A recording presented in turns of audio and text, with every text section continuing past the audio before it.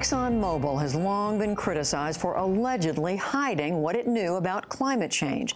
Just today, a pair of researchers say that Exxon's own documents prove that is true. William Brangham has more. It's in our weekly series on the leading edge of science. Thanks, Judy. Those two researchers who are from Harvard University, they published a study today alleging that ExxonMobil tried to systematically mislead the public about climate change for 40 years. The researchers began this study after the energy company challenged critics to compare Exxon's own peer-reviewed scientific research on climate change against what the company publicly said about that science.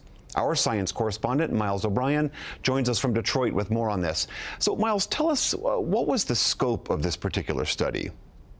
Well, William, we're talking about a systematic scientific content analysis 187 internal and external corporate documents produced by ExxonMobil 1977 through 2014.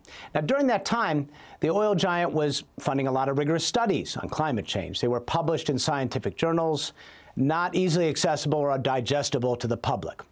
83% of these peer-reviewed studies match the scientific consensus that climate change is real, caused by humans largely, and is an existential concern. But the study concludes ExxonMobil offered the general public something else, a diametrically opposed stance on climate science. Now, to assess ExxonMobil's public statements, the researchers went through the so-called advertorials that the company purchased on the op-ed page of the New York Times every Thursday for 30 years. And it was almost the same proportion, 81% of those statements but on the other side of the coin, a completely divergent view. It cast doubt on whether climate change was real, it discounted human impacts, and they suggested there was nothing practical to do about it anyway. The study co-author, Geoffrey Supran, is a postdoctoral researcher at Harvard. What we've found when we've read these documents is um, a clear, unmistakable, systematic discrepancy between, on the one hand, what ExxonMobil said and discussed about climate change in private and in academic circles, and on the other hand, what it said about climate change to the general public, um, no less than in the New York Times. So, Miles, this whole research effort uh, basically came out of a dare that ExxonMobil made saying, take a look at our documents. explain what happened there. Yes, William, this was an attempt to call a bluff, I think. ExxonMobil authored a blog two years ago daring its critics to analyze its publicly available documents on climate science. They said, read all of these documents, make up your own mind.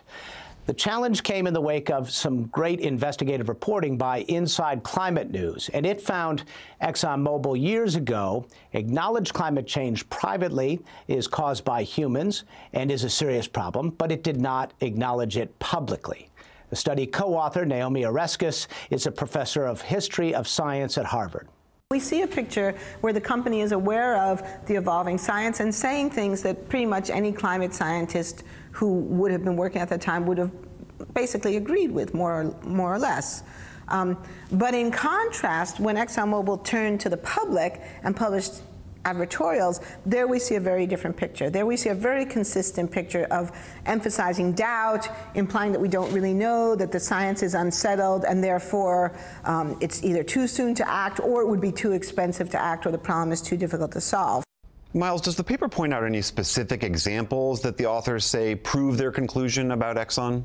Well, William, there's one that really stands out. In 1985, an Exxon scientist co-authored a study that was really prescient. He predicted that uh, global climate at the surface would uh, increase by two degrees above pre-industrial levels. And this was way before the United Nations scientists uh, came to that conclusion. And yet, 15 years after that study was released, in the New York Times, Exxon released an advertorial saying unsettled science was the rule of the day, and it quoted data from other studies which seemed to suggest it was natural fluctuations. Uh, the authors of that study said it was extremely misleading. We have messages like this about unsettled science read by probably millions of people, and in contrast, decent climate science by Exxon's own scientists hidden away in peer-reviewed articles, um, in you know, scientific journals. And so the discrepancy is not just in the message being communicated. Miles, what has Exxon said about this report? Well, we called ExxonMobil. We asked them to respond on camera to the Harvard study. They declined, but they did offer us a written statement. In part, it reads uh, The study was paid for, written, and published by activists leading a five year campaign against the company. It is inaccurate and preposterous. Our statements have been consistent with our understanding of climate science. Rather than pursuing solutions to address the risk of climate change, these activists, along with trial lawyers, have acknowledged a goal of extracting money from our shareholders and attacking the company's reputation.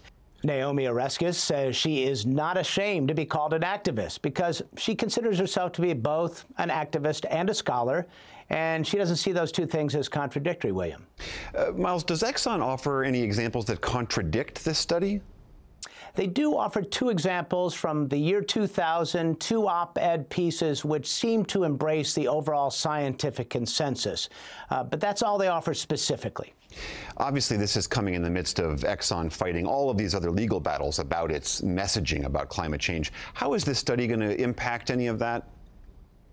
Well, Exxon is indeed fighting off a lot of legal challenges right now. Shareholders have sued the company, claiming its public statements uh, dismissing the risks of climate change were materially false and misleading. A class action suit filed by Exxon employees claims the company overstated the value of its assets, driven in part by its failure to acknowledge the impact of climate change on the value of its reserves.